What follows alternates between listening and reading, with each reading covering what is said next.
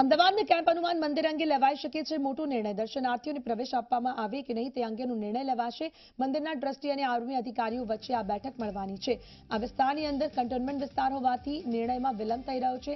Charity commissioner આપી ચૂક્યા છે મંદિર ખોલવાનો આદેશ. તો મંદિરના પૂજારી અને ટ્રસ્ટીઓ વચ્ચે વિવાદ સર્જાયો છે.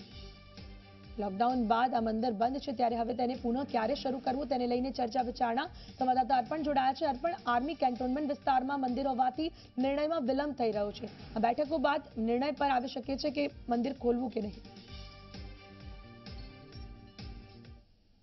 તો દર્શનાર્થીઓને પ્રવેશ આપવો કે નહીં તે અંગે હજી સુધી નિર્ણય નથી લેવાઈ શક્યો, કારણ કે જે પ્રમાણેનો વિસ્તાર છે આપણે જાણીએ છીએ કે અત્યંત સંવેદનશીલ વિસ્તાર છે, સુરક્ષાની દ્રષ્ટિએ આર્મીનો કેન્ટોનમેન્ટ વિસ્તાર છે અને આ પ્રાંગણની અંદર મંદિર આવેલું છે. એટલે કોરોના કાળ દરમિયાન મંદિર બંધ હતું તે ખોલી દેવામાં આવ્યું છે.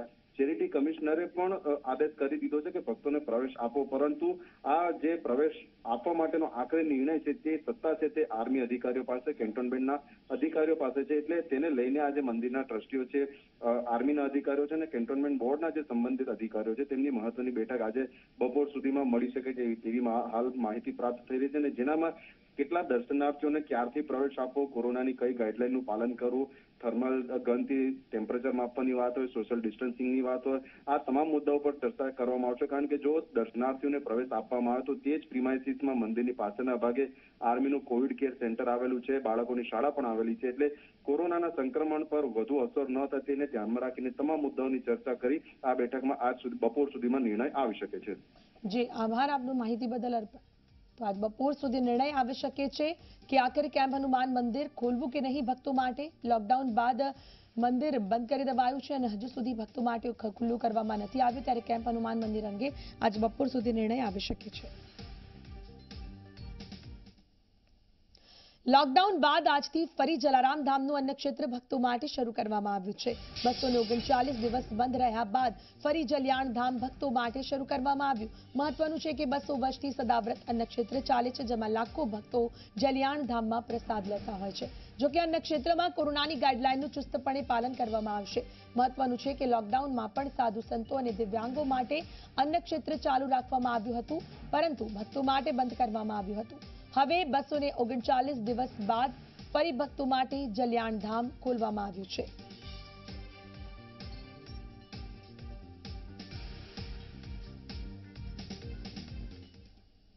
મુશ્કેલીઓ, સફળતાના અનેક દરવાજા ખોલી દે છે અને તેનું સાચું ઉદાહરણ સુરતની તેર વર્ષની અન્વી જાંજરૂકિયાએ પૂરું પાડ્યું છે.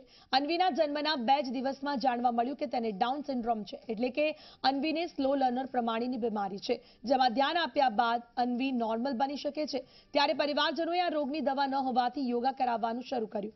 શારીરિક રીતે અશક્ત હોવા છતાં યોગાને કારણે આજે 80 થી સો જેટલા આસનો અન્વી ખૂબ જ સરળતાથી કરી શકે છે. યોગા ટીચર નમ્રતાબેનની ધીરજ અને મહેનતના કારણે ત્રણ વર્ષથી યોગા શીખી રહેલી અન્વી નેશનલ લેવલે બે ગોલ્ડ મેડલ જીતી ચૂકી છે.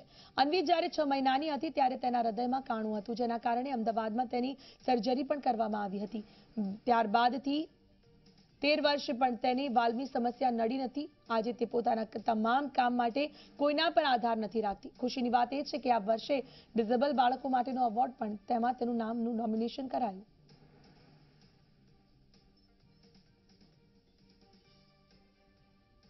મારી ડોટર છે અન્વી બે છ, બે હજાર આઠ, જ્યારે એનો જન્મ થયો ત્યારે અમારું ફર્સ્ટ ચાઇલ્ડ એટલે એકદમ ખુશીનો માહોલ હતો કે લગ્નના ઘણા વર્ષો પછી અમને ભગવાને એક સરસ દેવી લક્ષ્મીજી અમા- અમારા ઘરે આવ્યા પરંતુ તરત જ બીમાર થઈ. બે દિવસની અંદર અમારે એને હોસ્પિટલાઇઝ કરવી પડી.